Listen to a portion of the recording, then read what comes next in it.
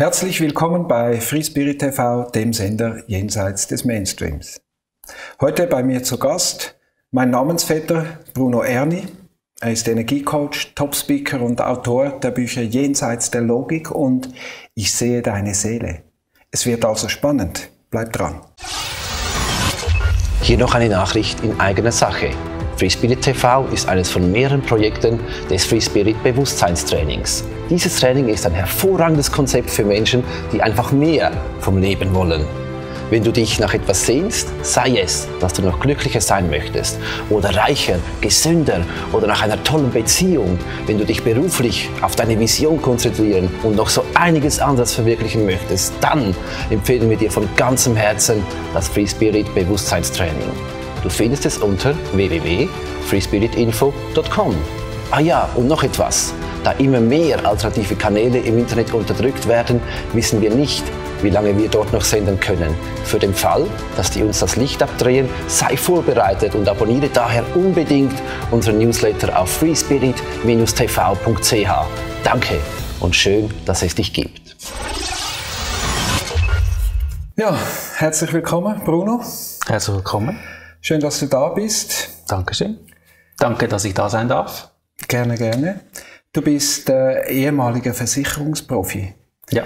Wie kommt es dazu, dass du dich auf den bewussten Weg gemacht hast mhm. als Energiecoach und äh, dich mit Erfolg und Spiritualität auseinandersetzt? Gab es da ein bestimmtes äh, Ereignis, eine Sendung? Genau. Wie so meistens wahrscheinlich bei so einem großen Wechsel jetzt hatte ich 2007 einen schweren Autounfall und das führte mich dann in diesen feinstofflichen Bereich. Ich hatte fünf Jahre Schmerzen, suchte da die Lösung nach Heilung, fand die schulmedizinisch nicht, kam da wieder in Berührung mit meiner eher vergangenen feinstofflichen Denkweise und tauchte dann da ein in diese feinstoffliche Welt. Hast du dabei ein Nahtodeserlebnis gehabt oder waren es die Schmerzen, die dich hauptsächlich also nicht so wie bei dir, nein, nicht ganz nahtod. Es war einfach äh, für mich schwer, weil ich wurde ausgebremst von einem Auto. Ich fuhr mit 50 Stundenkilometer in ein stehendes Auto, das mir den Vortritt genommen hatte und das war dann für mich schon ziemlich deftig. Ich erinnere mich gut, ich konnte nicht mehr Mittagessen mit meiner Frau, habe da abgemacht. Das Auto war Totalschaden, das andere und von diesem Moment da hatte ich tiefe, starke Schmerzen. Ja. Also apropos Frau. Ja. Du schreibst in deinem Buch Jenseits der Logik übrigens sehr genau. schönes Cover, gefällt mir gut. Danke. Du hättest dir deine Frau bestellt. Ja. Äh, ich nehme jetzt nicht an bei der Schweizer Post, oder? nein, nicht ganz, nein.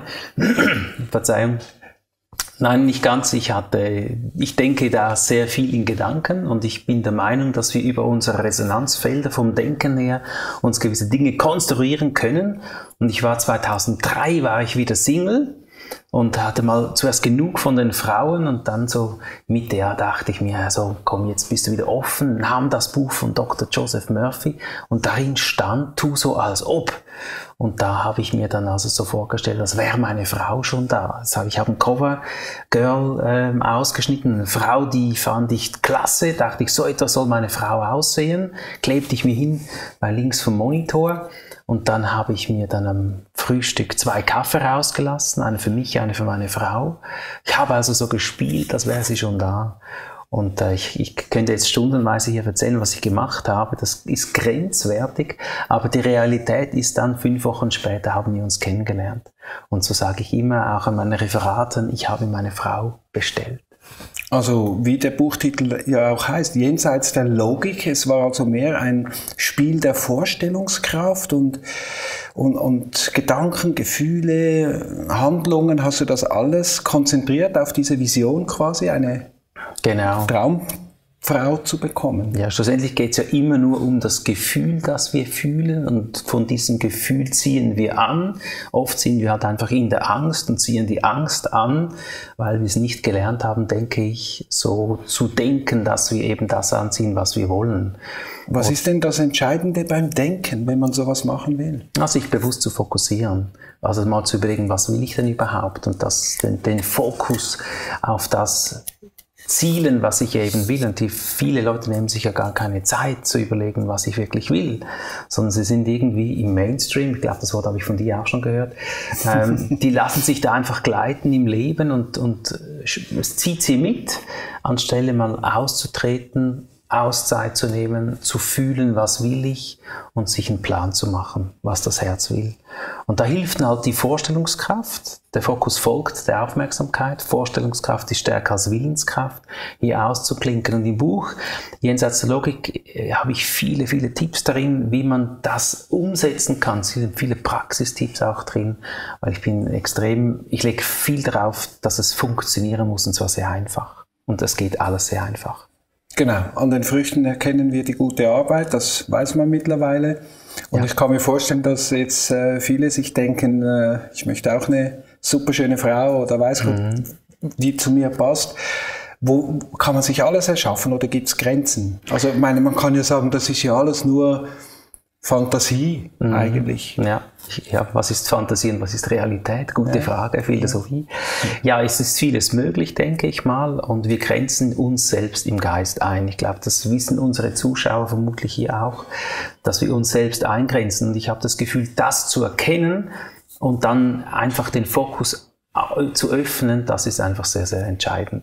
Aber wir werden ja schon so erzogen, uns zu einzugrenzen. Das heißt, ähm, da müssen wir uns schon in der Kindheit überlegen, wo kann ich da ausbrechen, um eben meine Gedanken mal zu hinterfragen. Was, wo grenze ich mich ein? Da muss ich mir bewusst werden und mich selbst mal reflektieren. Das heißt, ich könnte mir aber im Prinzip alles, auch Geld erschaffen, Erfolg erschaffen, äh, alles, was ich will. Ja, ich, ich, da grenzen wir uns ja wieder alles, was ich will. Ich kann nicht fliegen, vermutlich. Ja, ich habe es noch nie probiert. Das wäre auch mit der Vorstellungskraft, dann könnte man sagen, ja, flieg doch mal. Aber ich bin sehr stark der Überzeugung, dass wir in, was wir reinlassen in unser Unterbewusstsein, ich vergleiche das immer gerne, die Fliege, ein Gramm ist der Verstand und 20 Tonnen ist der Elefant. Und wir sind alle Spezialisten auf die Fliege oder für die Fliege. Und wir haben keine Kenntnisse oder wenig Kenntnisse für den Elefanten. Und hier gilt es einfach, den Elefanten zu füttern mit Dingen, die ich mag, die ich will.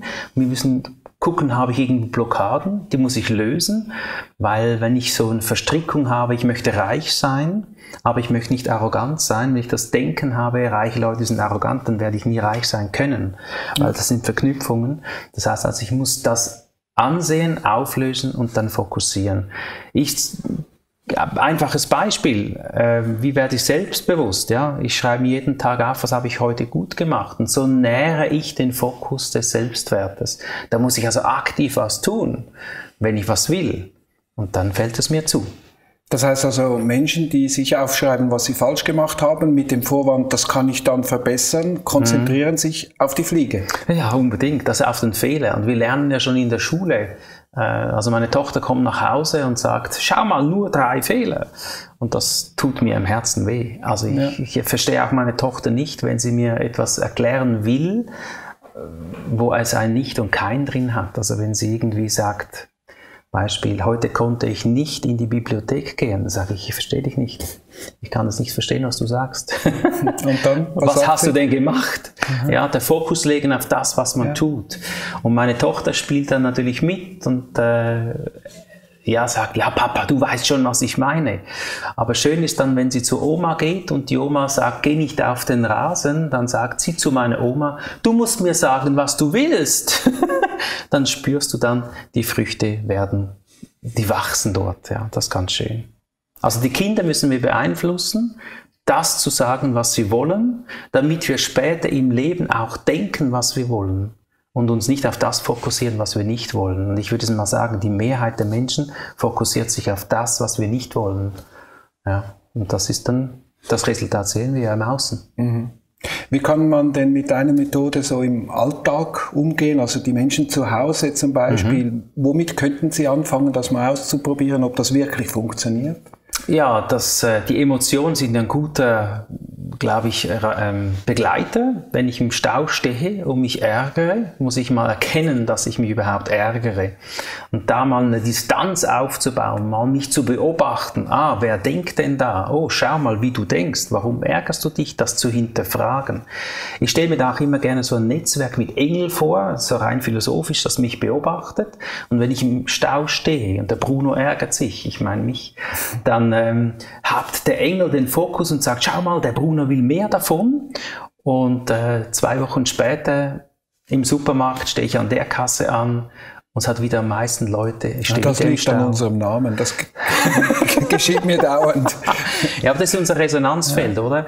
Das müssen wir uns, wenn, wir, wenn etwas nicht gelingt, dann müssen wir hingucken, warum ist das so? Ich sehe da Samen und das Resonanzfeld ist zeitverzögert. Wenn ich was fallen lasse, dann fällt es auf den Boden, das kann ich verstehen. Das Gesetz der Schwerkraft, das Gesetz der Resonanz ist zeitverzögert. Fünf, sechs Wochen später erhalte ich das. Und wenn ich Angst habe, nähere ich das Resonanzfeld und ich erhalte das zu fast hundertprozentiger Sicherheit. Gut, jetzt kann ich mir vorstellen, dass viele, die zuschauen, jetzt gerade sich denken, das mit der Kasse, das kenne ich. Mhm. Wie könnten die das jetzt ändern, ab sofort? Gut, also dankbar sein. Die Dankbarkeit kennen wir auch wieder überall. Das wird auch von vielen tollen Reden äh, erzählt oder, oder Coaches. Aber das Dankbarkeitsgefühl, das ist schon ein wichtiges Gefühl, weil da gehe ich in die Entspannung rein. Und wenn ich entspannt bin, dann habe ich eine Resonanz zur Entspannung.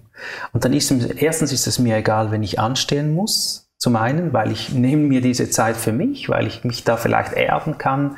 Äh, ich kann gute Gedanken aussenden. Und die Realität ist, dass wir oft dann plötzlich einfach in einen Flow kommen, wo wir uns nicht erklären können, warum das plötzlich so einfach geht. Und das ist ja der Krux, ja. Der Verstand und das Herz arbeiten dann wie zusammen und das Herz hat mehr Zugang zum Bewusstsein und es fließt einfach einfacher. Ist das vielleicht gemeint mit wir sollen eins werden? Das klingt gut.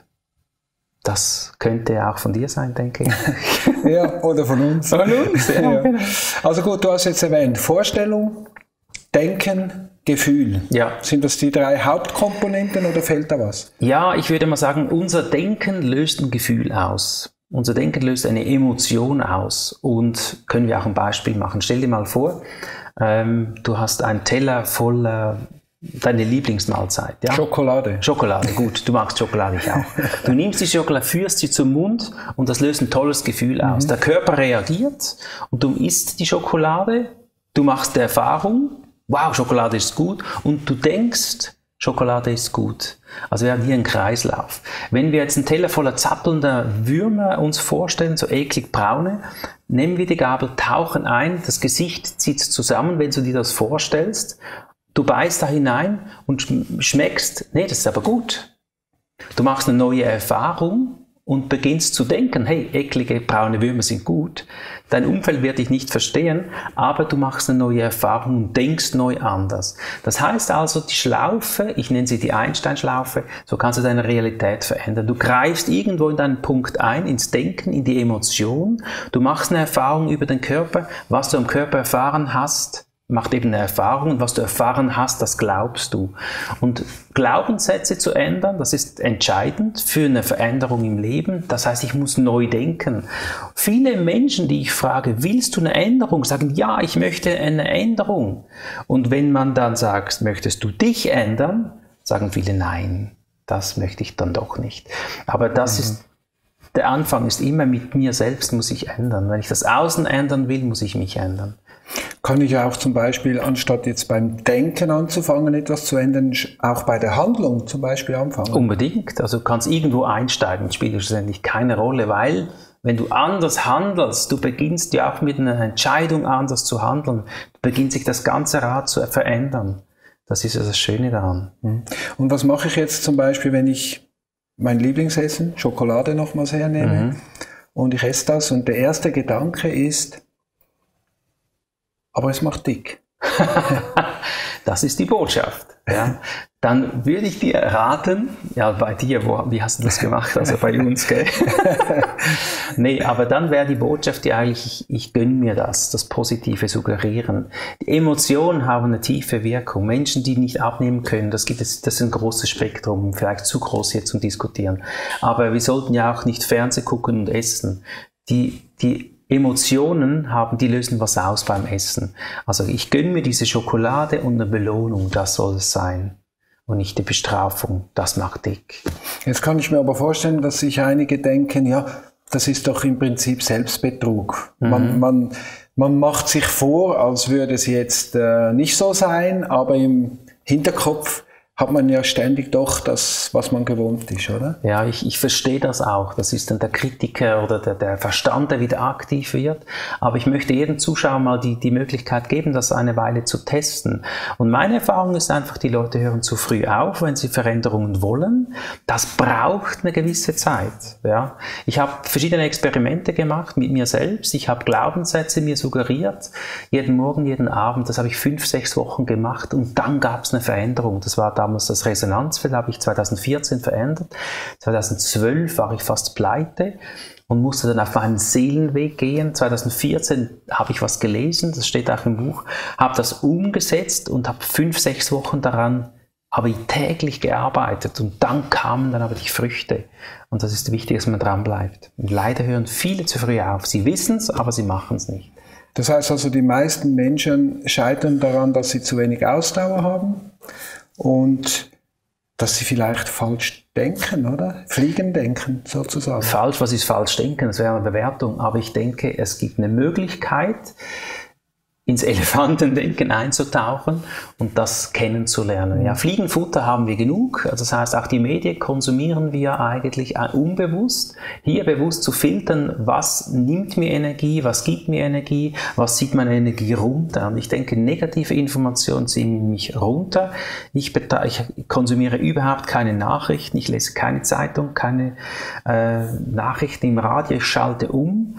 Also wenn ich höre zum Beispiel und jetzt noch die was habe ich neulich gehört im Radio? Und jetzt noch die Schreckensmeldungen im Radio. Sorry, da muss ich umstellen. Ich will das ja nicht. Breaking will, News. Ja, für, für was? Was macht's mit mir?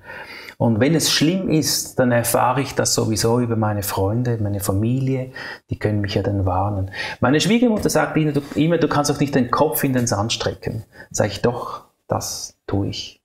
Ja, weil was bringt es mir, wenn in Peru ein, ein Auto stürzt, ein Kind zerquetscht ist? Das kann ich ja nicht helfen. Ich muss Informationen haben, wo ich helfen kann, dann bin ich da. Also man muss auch wissen, welches Wissen man nicht braucht, nicht ja. nur welches man braucht. Genau. Ja. Und das meinte ich übrigens mit falsch, richtig und falsch, jenseits von Bewertung. Für mhm. mich ist falsch das, wenn ich was tue, was mich nicht dorthin führt, wo ich hin will. Ja, ja? ja? Also wenn einer dorthin will, ist es gut, wenn er es falsch macht, dann kommt er dorthin. Ja. Das macht die Erfahrung, die ist auch sehr wichtig, klar. Ja. Mhm. Das heißt also, wir sollten ein bisschen mehr experimentieren im Leben und ich weiß, viele Menschen möchten gerne noch glücklicher und gesünder sein, als sie sind. Mhm. Äh, wie fange ich da an zum Beispiel? Ich will, ich will jetzt einfach topfit sein, richtig gesund. Mhm. Aber äh, ich gucke gerne fern und ich esse gerne Schokolade und kann mich nicht überwinden. Wie würde ich jetzt in so einem Fall mit mir umgehen müssen, dass das funktioniert? Mhm. Also ich würde auch hier die Abhängigkeit wieder distanzieren. Ich kann ja auch glücklich sein, wenn ich Schokolade esse. Schokolade macht ja auch glücklich, das gibt Untersuchungen. Man muss es einfach mit uns teilen, das ist klar. Ja, klar, auf jeden Fall. Aber das haben Sie ja gewusst, die Zuschauer. ja. Nee, aber das ist, was macht mich glücklich? Ich glaube, glücklich macht mich, wenn ich dem Ruf des Herzens folge, wenn ich da eintauchen kann und mir wirklich die Zeit nehme, eben auf mein Herz zu hören, was will ich hier im Leben wirklich. Und wenn ich nur aufs Essen gucke, wenn nur das glücklich macht. Oder ich hatte früher auch die These höher, schneller, weiter. Also ich, ich habe 17 Jahre bei, bei Versicherungen gearbeitet. Und da war auch klar der Umsatz, den, der Fokus, höher, schneller, weiter, neues Auto jedes Jahr und so weiter. Das ist Ego-Futter. Ja, aber was willst du wirklich im Leben? Im Leben willst du eigentlich ankommen, glücklich sein. Und wenn wir jetzt ein bisschen ins zweite Buch reinrutschen, ich sehe deine Seele, die Seele ist ja, ich habe noch nie eine Seele gesehen, die Geld möchte. Ähm, eine Seele möchte ein Gefühl erleben und das, wenn ich das erleben kann, das Gefühl, was meine Seele will, dann bin ich glücklich. Dann bin ich auf meinem Weg. Doch das lernen wir leider nirgends in der Schule. Also nochmal auf deine Frage wegen den Glücklich und Schokolade und so weiter. Schokolade kann unterstützend sein, aber es soll der, das Herz ist der richtige Weg, was das Herz will. Das heißt also, wenn ich, wenn ich jetzt fitter werden will zum Beispiel und ein bisschen im Kopf schon mal denke, ein bisschen Sport wäre nicht schlecht, ich kann mich aber nicht überwinden, dann würdest du einfach, was würdest du machen? Ja gut, da gibt es natürlich verschiedene Methoden. Jetzt Bewegung, jeder Körper braucht 10.000 Schritte im Tag, gibt es ja Studien. Da fängt man am besten mit kleinen Impulsen an. Ich schreibe im Buch Jenseits der Logik ein Beispiel, wie man sich selbst in diese Situation führen kann für eine Veränderung. Da muss ich klein anfangen. Ich schreibe da zum Beispiel drin, dass man, wenn man da jetzt joggen gehen will, spazieren gehen will, mhm. soll man nur die Jacke anziehen oder den Jogginganzug anziehen, sich im Spiegel betrachten und sagen, morgen geht's los. Wieder ausziehen, Schokolade nehmen, das ist kein Witz, sondern dich belohnen mit was. Und dann am nächsten Tag ziehst du wieder Jogginghosen an, gehst vor die Tür und gehst wieder rein, Schokolade nehmen, du fütterst dein Hirn auf Konditionierung, du änderst dein Verhalten. Übernächsten Tag Jogginghose anziehen, vor die Tür gehen, 100 Meter, 100 Meter zurück und dich belohnen. Du baust dein Verhalten so um und aus, das kannst du adaptieren auf alles. Wir Menschen haben oft große Ideen, und scheitern, weil wir es nicht tun, weil wir zu schnell zu weit wollen. Wichtig ist, dass wir beginnen, also lieber unperfekt begonnen als perfekt gezögert. Das ist nicht von mir, dieser Satz, aber ich finde ihn genial. Und viele denken sich, ah, das schaffe ich ja eh nicht und tun es nicht. Und das wäre eine tolle Möglichkeit, weil all die großen Ideen sind ja entstanden, weil man es tut.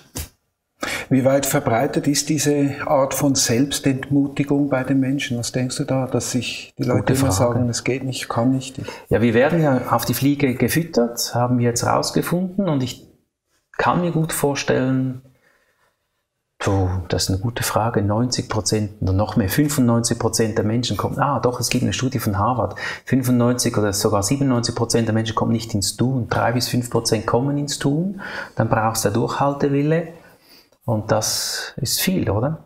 Das heißt also, Erfolg ist nicht unbedingt von der Ausbildung notwendig? Nee, gar nicht. Hast du studiert? Nee, ich habe das Leben studiert wie du. Ja. Also ich sage, ich, ich könnte dir ein Zertifikat geben und du mir eins. Ja, das hätte man auch was. Oder? Gegenseitige. Ja. Ähm, ja. Nee, ich, ich sage immer, Studieren ist, ist sehr wertvoll. Wissen aneignen, das ist wertvoll. Machen wir beide wahrscheinlich täglich jetzt immer noch und ich saug das auf wie verrückt.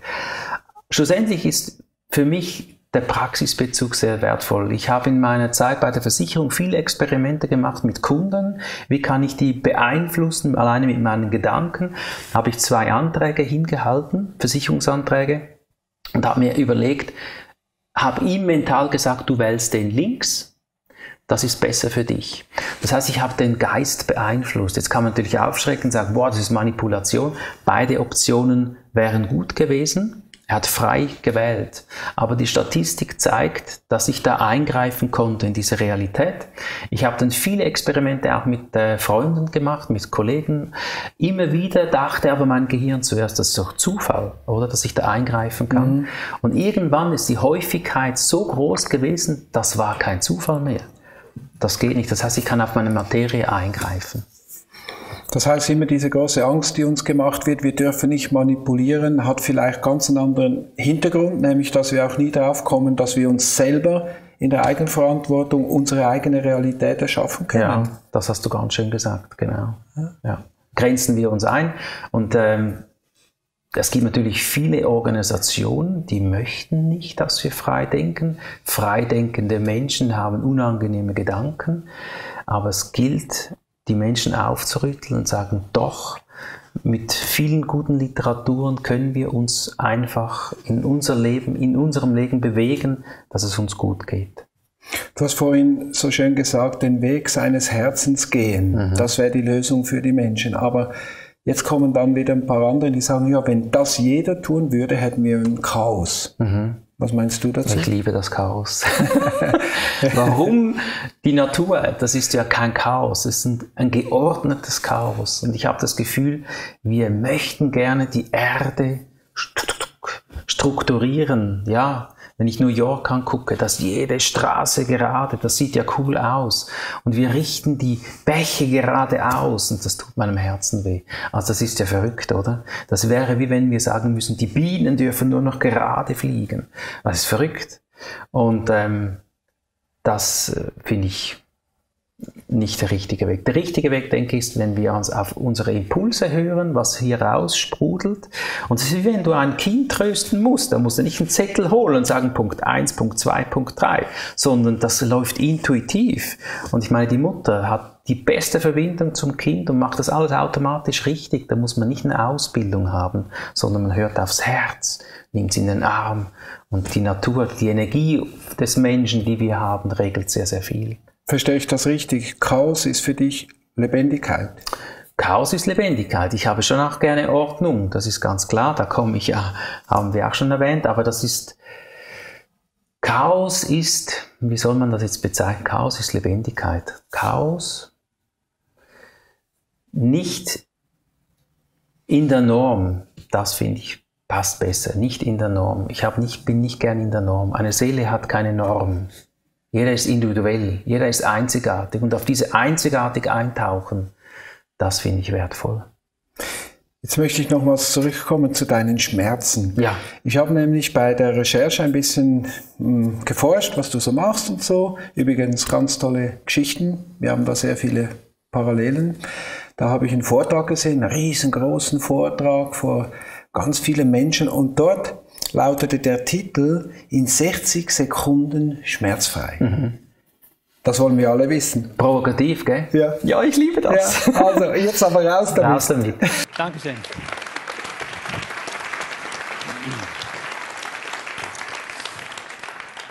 Großer Moment, ich freue mich sehr, vor Ihnen zu stehen. Ich habe das wie oft visualisiert? Oft. Ha, es kann nur gut kommen. Viele fragen mich ja, wie muss ich denn richtig visualisieren? Ja, Sie haben sich das vielleicht auch schon gefragt. Ich habe Ihnen dazu ein Bild mitgebracht. Schauen Sie mal, muss ich denn so gucken? Ja? Nein, nicht ganz. Sie werden, wir holen ein bisschen aus, weil fürs Visualisieren braucht es ein Basiswissen, das müssen Sie kennen. Sie müssen meine Welt verstehen. Meine Welt ist jenseits der Logik und Visualisieren ist jenseits der Logik. Aber warum gelingt es vielen Kindern so klasse zu visualisieren und uns erwachsenen Menschen fällt das manchmal schwer? Ich habe dazu ein Bild für Sie weiter und das Bild hier spricht für sich. Man hat schon gesagt, in der Schule werden wir auf die Logik getrimmt. Und es gibt eine deutsche Studie aus dem Jahr 2013, die besagt, dass 97 Prozent aller Kinder vor der Schule hochintelligent sind. Nach der Schule sind es nachweislich zwei bis drei Prozent. Das ist kein Witz. Warum ist das so? Weil wir uns in der Schule mindestens neun Jahre jeder hier uns auf die logische Seite fokussieren. Was hat Ihr Hirn gemacht? Sich auf den Fehler fokussiert. Und beim erfolgreichen Visualisieren ist es genau so, wir fokussieren uns auf das, was wir nicht wollen und wundern uns, dass wir das erhalten, was wir nie wollten. Sagen Sie mir ganz spontan eine Farbe, schnell. Dankeschön. Schnell ein, eine Blume. Super. Musikinstrument. Sowas. Werkzeug. Hammer. Das ist der Hammer, ja. Gut. Ich wollte aber wissen, wo sind die wirklichen Grenzen? Interessiert Sie das? Ich habe eine provokative Aussage und behaupte schmerzfrei in 60 Sekunden, geht natürlich nicht immer, aber wie mache ich das? Und ich verrate euch das. Es ist wirklich ein persönliches Geheimnis, das ich eigentlich nicht teile, heute das erste Mal. Ich fokussiere mich auf das und stelle es mir empathisch vor. Und verändere es in meinem Kopf, wie ich es gerne hätte. Das ist alles. Ich lade Sie ein das auszuprobieren. Und wenn ich sage, Knieschmerzen zum Beispiel zu 90 Prozent weg zu haben, geht es genau so. Ich umarme das Knie, fokussiere mich auf das Knie, sehe, was drin ist und verändere das in meiner Kraft der Gedanken. Und ich habe das für Sie in einem einzigen Wort zusammengefasst. Ich nenne das Juhu. Juhu! Ich wünsche Ihnen in Ihrem Leben viele, viele Juhus. Es hat mich sehr gefreut, vor Ihnen zu stehen. Bis bald. Tschüss. Dankeschön. Also über die Aurachirurgie, was wir äh, mit der Quantenphysik erklären können, können wir uns im Prinzip im vis einklinken und wir können eine Selbstheilung auslösen, die sofort wirkt. Und Gerhard Klügel, der das äh, ausgeklügelt hat vor 15, 20 Jahren, hat das ähm, mit Aurachirurgie bewiesen, dass man das kann. Ich habe dort die Ausbildung gemacht, habe viele Ausbildungen natürlich diesbezüglich gemacht und ähm, das kann man darüber machen. Also zum Beispiel Knieschmerzen, ein Klassiker oder je nachdem Schmerzen. Es geht nicht immer, muss man auch sagen. Aber ich liebe Provokation, ich liebe provokative Titel, schmerzfrei in 60 Sekunden. Das geht aber sehr oft. Ich habe eine Praxis in Winterthur seit fünf Jahren, wo wir das täglich praktizieren, wo Menschen mit Blockaden kommen. Aber du bist ja schon im Klaren, dass es jetzt Leute gibt, die sagen, da will ich hin. Und was habe ich gesehen? Über Monate ausgebucht. Ein halbes Jahr ausgebucht, ja. ja. Wir sind jetzt dran, ähm, mein Wissen quasi so einfach zu adaptieren, dass wir das weitergeben können, dass wir, du musst den Menschen ja nicht die Fische fangen, sondern du musst den Menschen lernen zu fischen. Und das ist mir ganz wichtig, dass jeder sein eigener Guru sein kann. Ja. Da gibt's einfache Dinge und ich glaube, das Universum ist eigentlich zwar komplex aufgebaut, aber die Lösung ist oft einfach. Und ich möchte mit meinem Wissen helfen, einfache Lösungen zu geben. Ich bin kein Arzt oder Doktor. Ich bin ein normaler Mensch, wo die Resonanz des Menschen. Gut, das dürfen wir schon in Frage stellen mit normal. Also. Wir sind beide normale Menschen. Und, aber wir können eingreifen in, so, in Resonanzfelder. Und ich habe da eine gewisse Erfahrung, die ich weitergeben möchte und das ist ganz, ganz wertvoll. Und was ist denn das ich sage mal, das Beeindruckendste, was du in deiner Praxis schon erlebt hast, wo du selber vielleicht gedacht hast, das hätte ich nicht gedacht? Das beeindruckt, sind jeden Tag beeindruckende Momente. Das ist immer, wo liegt mein Fokus? Ja, wenn jemand mit Knieschmerzen kommt, meine Verlegerin hatte Knieschmerzen und die wollte natürlich dann auch eine Demo, Sabine Giger, und sie hat seit, seit dieser Demo keine Knieschmerzen mehr. Das ist natürlich ein super Beweis für sie. Für mich sind beeindruckende Momente, wenn zum Beispiel jemand einen, einen Schmerz, einen inneren Schmerz, eine Blockade nicht loslassen kann, ähm, einen Groll nicht loslassen kann. Und er dann merkt nach einer Behandlung über die Seele, Seelenchakra, Seelenchakra ist das schwebende Chakra oberhalb von uns, wenn wir dort eingreifen und wir lösen das innerhalb von wenigen Sekunden auf und er spürt innerlich, es ist weg, es ist nicht mehr da. Das ist doch beeindruckend, das finde ich immer wieder tief beeindruckend. Mhm. Ja, das ist eine Demut, die ich verspüre, weil das möglich ist. Was, das ist unglaublich. Und jetzt machst du ja etwas, was den meisten, sage ich mal, von uns nicht gelungen ist. Mhm. Du arbeitest im Businessbereich genauso wie im spirituellen und kannst das so verknüpfen. Mhm. Hast du, wie machst du das, dass die, sag jetzt mal, die Businessleute auch diese spirituellen Aspekte von dir so gut annehmen können? Mhm. Also ich bin ich. ich bin die Marke Bruno Erni und ich glaube, das ist ganz wichtig, dass man mich spürt. Ich habe auch es führt ein bisschen zu weit, aber ich habe auch mit einer PR-Firma zuerst was anderes konstruiert und so. Aber warum mir das gelingt, ich, hab, bin, ich bin der Meinung, dass wir alles über die Macht der Gedanken einstufen können. Das hat also nichts mit Esoterik, Spiritualität zu tun, sondern ich ziele in die Kraft der Gedanken. Die Gedanken haben wir alle, da können wir uns nicht ausschließen. Und in diesen Gedankenwelt können wir uns aber fallen lassen. Jeder kennt die Meditation. Das heißt, wir können die Gehirnfrequenz reduzieren. Und wenn wir die Gehirnfrequenz reduzieren, dann können wir in diese Ebenen eintauchen, die wir alle auch kennen. Und das ist egal, ob es ein CEO ist von einer Firma oder ob es eine irgendjemand ist. Das ist, ich möchte es nicht bewerten, aber es ist gibt den Zugang für alle Menschen. Also mache ich Referate in vielen Krankenkassen, Banken, Versicherungen für das Thema Kraft der Gedanken, erzähle da die Geschichte, wie ich meine Frau bestellt habe und so weiter und was wir da alles machen können, wie wir mit der Kraft der Gedanken mehr verkaufen können oder Kunden anziehen können. Und ich habe eine Praxis in Winterthur, wo die Menschen Blockaden haben, Schmerzen haben und wo wir über dasselbe Prinzip wiederum Blockaden lösen, um in die Gesundheit zu kommen. Das macht mich glücklich und gesund. Und schlussendlich ist das eine tolle Ergänzung. Das heißt, ich klinge mich nicht in der Spiritualität ein, sondern beim Thema Kraft der Gedanken. Also du verknüpfst im Prinzip Körper, Seele, Geist. Genau. Ja. Ja. Jetzt äh, dein Buchtitel, Ich sehe deine Seele. Mhm. Zwei Fragen. Ja. Wie machst du das oder wie siehst du das und was, was liest man denn so in den Seelen der Leute? Total spannend. Total. Ich möchte manchmal mein Sehen teilen. Ich finde das so faszinierend. Ich habe das ja auch mehr oder weniger zufällig gesehen. Ich war schon als Kind immer ein bisschen hellhörend, so hellwissend und so. Das weiß ich nicht von ungefähr. Aber das habe ich mir erarbeitet. Das war auch wegen dem Autounfall, las ich irgendwo mal im Buch, dass die Seele oberhalb von dir ist und irgendwann hab, musste meine Frau hinhalten dann sah ich auch so eine imaginäre Wolke und ich dachte, toll, was mache ich jetzt damit? Und ich wusste gar nicht, was ich war völlig überfordert und stellte dann fest, ich muss Fragen stellen, um Antworten zu erhalten, kennen wir alle.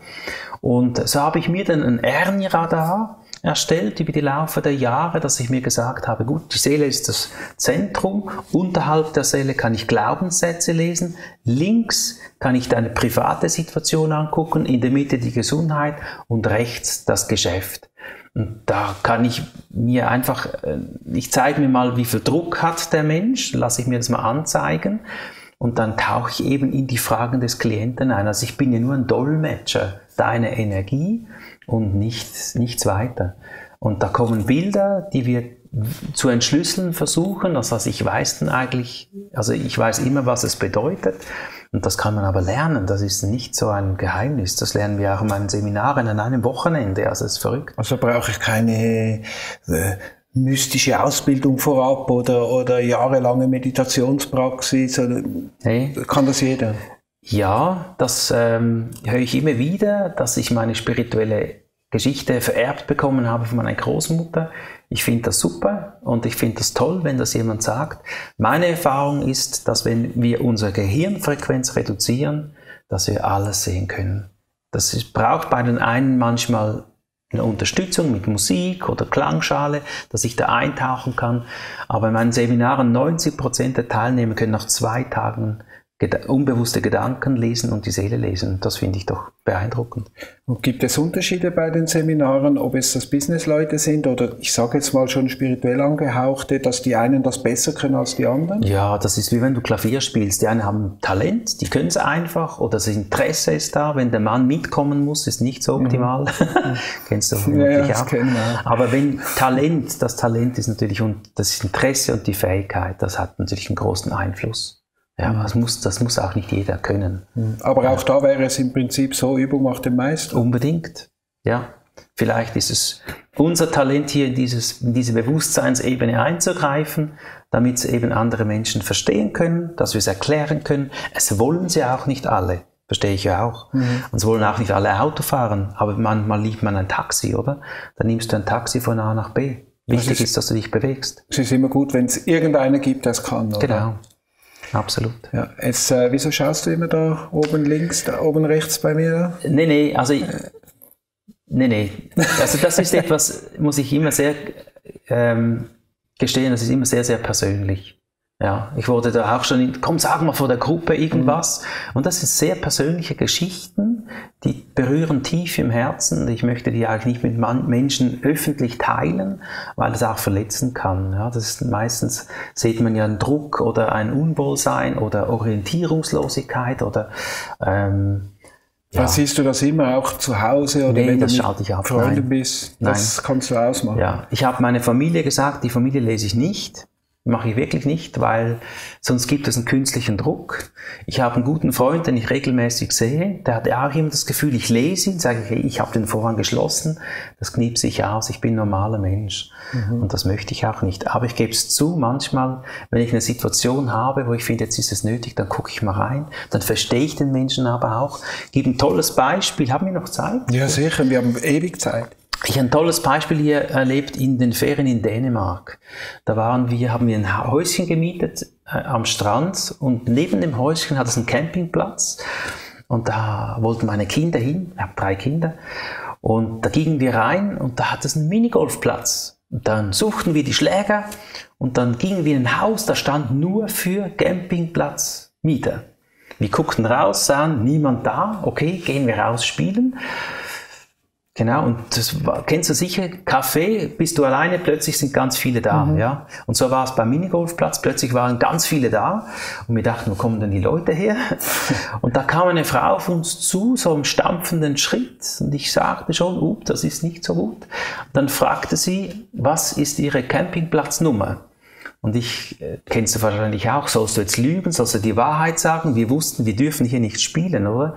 Oder sollst du irgendwas fantasieren? Guckte meine Tochter an, wusste, nein, du musst Vorbild sein, ehrlich, okay. Sagte, wir sind von drüben, Haus nebenzu, äh, wir haben hier keinen Platz. Und sagte sie, ja, ist nicht für uns, sofort aufhören und gehen. Gut, meine Tochter spielt noch schnell fertig und wir gehen. Sie geht zum Chef, der Chef kommt auf uns zu, noch stampfender, und sagte, verlassen Sie jetzt diesen Minigolfplatz. Jetzt.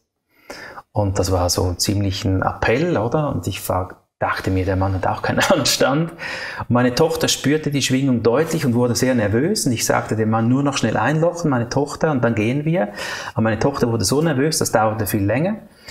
So, endlich eingelocht. Wir gingen nach draußen, gaben die Schläge ab, gingen nach draußen auf dem draußenweg, Spielplatz, immer noch auf dem Campingplatz.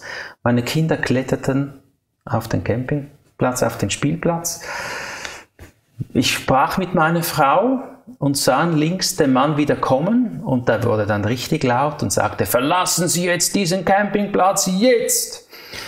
Ja, so. Und unsere Emotionen waren da, wir sagten nichts, gingen, weil wir waren im Unrecht und gingen dann ins Haus und dann musste ich diesen Mann lesen, warum hat er so reagiert. Und dann saßen wir so zusammen, ich klinkte mich ein und sah, der Mann wollte einfach seine Seele, wollte das Gefühl fühlen, die Familie zu beschützen.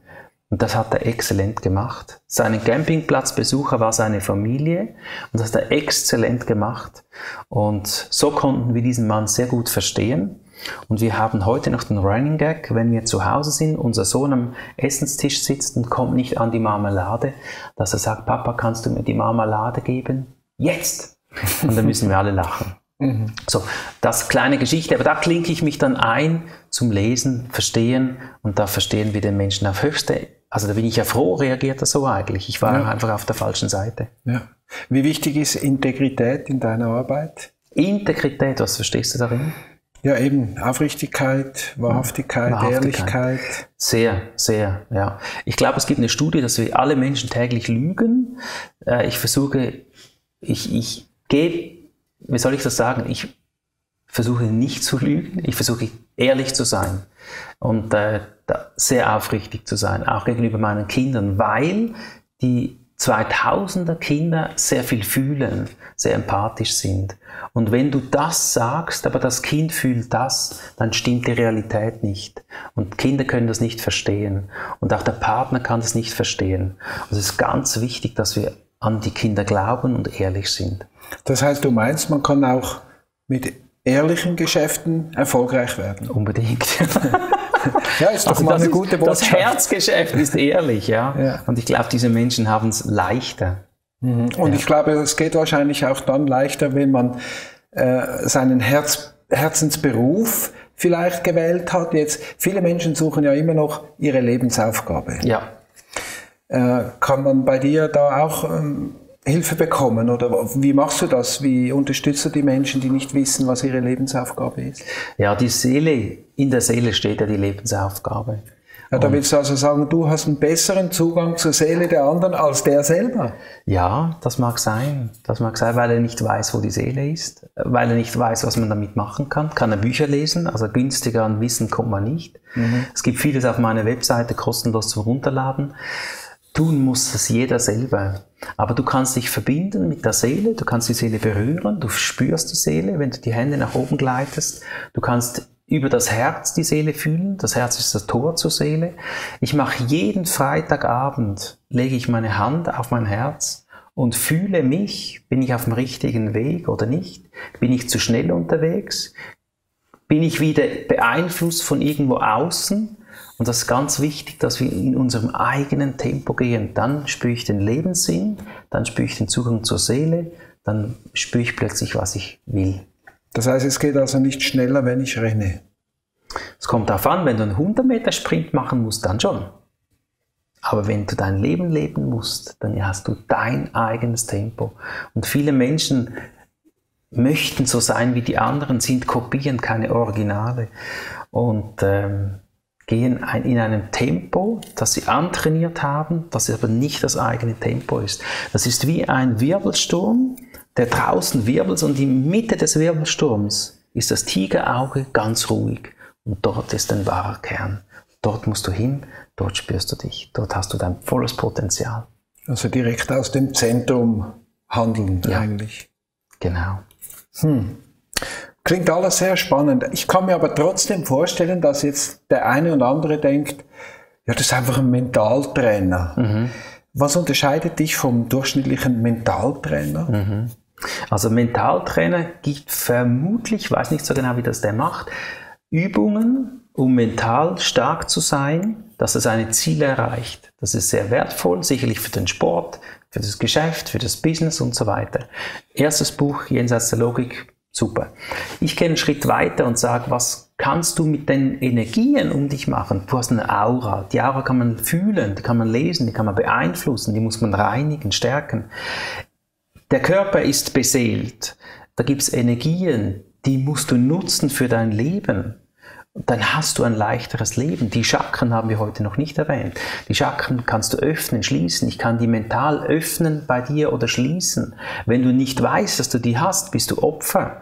Wenn du weißt, dass du sie hast, bist du Macher. Es gibt so gewisse Sachen, die müssen wir einfach wissen. Viele wissen es ja nicht, weil das lernen wir nicht in der Schule. Und wenn wir Thematiken wissen für unser Leben, können wir viel mehr machen. Ein Mentaltrainer, das heißt also, macht für Ziele erreichen in der Zukunft. Ich finde, wir haben die Möglichkeit, auch für das Jetzt sehr viel zu tun und die Energien zu lesen. Und das würde ich befähigen. Ein Mentaltrainer liest wahrscheinlich keine Seelen, weil da muss er sich tief entspannen, um zu lesen. Und äh, unbewusste Gedanken, das soll ja helfen, auch Ziele zu erreichen, aber Ziele, die das Herz will. Das heißt, du begleitest die Menschen eigentlich vom Opferbewusstsein ins Schöpferbewusstsein. Ich befähige sie, vielleicht schubse sie an. Ich bin nur ein Wasserhahn. Ja, ich bin nicht die Quelle. Ich bin nur ein Wasserhahn, äh, der vielleicht ein bisschen die Energie verstärkt. Aber wenn der Wasserhahn das Gefühl hat, er sei die Quelle, ist er größenwahnsinnig. Und jeder ist sein eigener Meister. Jeder ist sein eigener Guru. Und ich stoße nur ein bisschen an, damit es im Leben ringer geht. Ich nehme vielleicht was weg oder löse was, damit es Ringer hat und dass der Selbstheilungsprozess schnell heilen kann oder angestoßen werden kann. Mhm. Genau. Ja, das ist alles wirklich spannend.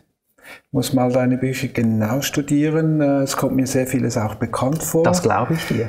Und ich glaube, es hat schon was, wenn man selbstständig forscht, kommt man oft auch auf ähnliche Ergebnisse. Ja. ja.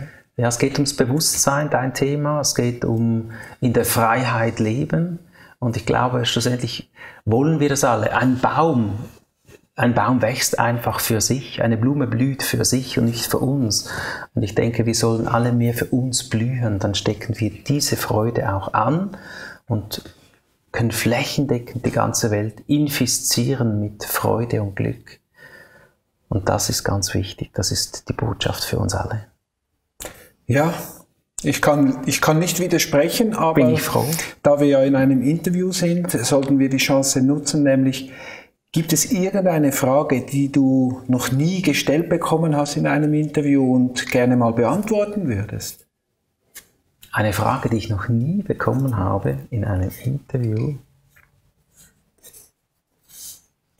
Diese Frage, die habe ich noch nie erhalten in einem Interview. Nein. Ja. Dann, äh, was ist dein Lieblingswitz? Da, mein Lieblingswitz ja. von meiner Tochter. Wir hören. Gut. Hier? Ja. Gut.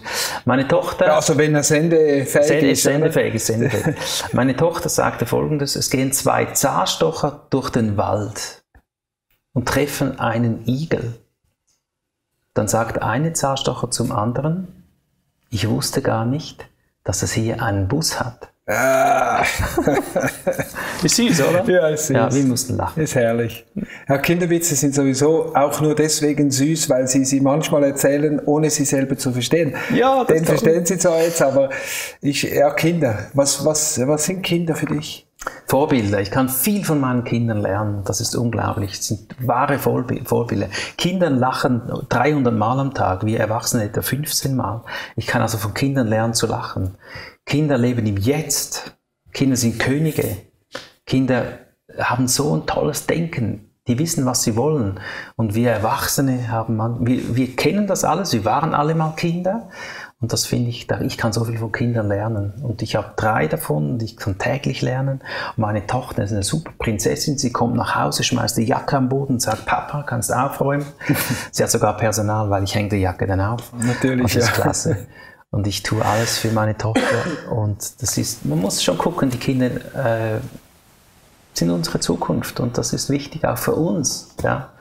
Und das ist eine Mission, das, da können wir was mitgeben, auch für die Erde. Und das ist schlussendlich ganz wichtig. Und jetzt bist du ja eigentlich schon am, ich will jetzt nicht sagen am Höhepunkt, das wäre vermessen, aber du bist schon sehr erfolgreich, hast vermutlich auch in deinem Leben mittlerweile alles, wie du es dir auch gewünscht hast. Trotzdem verfolgst du eine größere Vision. Was ist deine Vision genau? Was ist meine Vision? Also meine, mein Seelenauftrag ist den Menschen den Seelenauftrag zu vermitteln, die Bestimmung zu finden, die Blockaden zu lösen die Ziele zu erreichen. Und ich glaube, meine Mission ist, den Menschen extremst einfache Tools zu vermitteln, damit sie in Freiheit leben können, damit sie auf ihr Herz hören können, damit wir auch in Zukunft uns selbstständig bewegen können, unabhängig was draußen passiert und dass wir unserer Erde Sorge tragen können. Weil unsere Erde ist unsere Zukunft, da denke ich wieder an meine Kinder. Und wenn wir beseelt sind und an Reinkarnation glauben und die Wiedergeburt, dann wissen wir, dass wir wieder kommen. Und eigentlich ist es wichtig, dass wir einen so einen Gedankenimpuls aufschnappen und sagen, ui, wenn ich ja wieder komme, dann ist es wichtig, dass unsere Erde dann noch heil ist. Und das ist meine Mission. Das heißt, dass wir Blockaden lösen und achtsam umgehen. Genau, Also tiefe Einsichten ergeben gute Aussichten sozusagen. kann man sagen, ja. Ja, Bruno, vielen Dank bis dahin. Wir kommen so langsam zum Ja. Ende unseres spannenden Gespräches. Und vielleicht weißt du das schon, wir haben am Schluss immer so ein paar Satzanfänge, Okay. wo ich meine Gäste bitte, spontan einfach das zu sagen, die Sätze zu vervollständigen, was ihnen gerade in den Sinn kommt. Bin ich gespannt. Dann äh, ready. Ready. Ich bin, Ich bin der, der ich bin. ich glaube, Ich glaube, dass wir Menschen zu viel mehr fähig sind, als wir glauben. Gedanken sind, Gedanken sind Anstoße für das Unmögliche. das Leben ist, Schön. Vertrauen heißt, Vertrauen heißt, dass ich mich hingeben kann. Freiheit ist, Freiheit ist das Lebenselixier. Angst ist, Angst ist, ich muss hinschauen, sagte der Meister bei der Angst. Erfolg ist, Erfolg ist etwas, was erfolgt, wenn ich etwas tue und ich muss nur für mich erfolgreich sein. Gott ist, Gott ist ein Name für eine Quelle, die wir nicht erklären können, die wir aber alle fühlen. Spiritualität ist, Etwas sehr Wichtiges für unser Leben. die Menschen sind, Die Menschen sind Geschöpf Gottes, Geschöpf der Quelle, beseelte Menschen. Meine Frau ist, Meine Traumfrau. das wird sie gerne hören. Natürlich. Ja. Weil sie weiß ja, dass du ein ehrlicher Mensch bist, Ja. oder? Sie, ja- fühlt sie auch. Ja. ja, sie weiß es. Ja, sonst wäre sie schon längstens Genau. weg. 15 Jahre. Ah, super. 15 Jahre. Ehrlich? Ja. Parallelen, ja. Liebe ist, Liebe ist wunderschön. Der Liebe muss man sich hingeben. Liebe ist unbeschreiblich. Angenommen, du könntest eine Botschaft, Mhm. nur eine, aber dafür an die ganze Menschheit richten. Mhm. Was wäre deine Botschaft? Okay. Die Botschaft an die Menschheit ist, immer an sich zu glauben, immer wieder aufzustehen, zu fühlen, bin ich auf dem richtigen Weg und einfach weitergehen. An das Unmögliche glauben, mit der Seele Kontakt aufnehmen und zu wissen, du bist nie allein. Ja, vielen Dank für diese schönen Schlussworte. Danke. Gehen Danke richtig. dir, Bruno. Also, es hat richtig Spaß gemacht. Hätte es noch stundenweise. Jetzt würde ich eigentlich dann drehen, so würde ich dich dann beginnen zu interviewen. Das wäre sicher sehr spannend. Ja, aber gibt es vermutlich schon, gell? Äh, gibt schon da und dort, aber natürlich mit ganz anderen Menschen und Hintergrund. Mhm. Aber wer weiß, was noch alles kommt. Ich meine, wir können es uns ja mal erschaffen. In der Zwischenzeit, liebe Zuschauer, wünsche ich euch ein, ein erfolgreiches Leben im Sinne von Bruno Erni. Geht den Weg eures Herzens und vergesst nicht, wenn es euch gefallen hat, wieder einzuschalten, wenn es zum nächsten Mal heißt, willkommen bei Free Spirit TV, dem Sender jenseits des Mainstreams.